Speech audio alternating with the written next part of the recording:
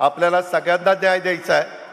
कुठल्याही परिस्थितीमध्ये कुठलाही घटक हा त्याच्यामध्ये फा कुठलाही लाभापासून वंचित राहता कामा नये अशा प्रकारची भूमिका महायुती सरकारची आहे.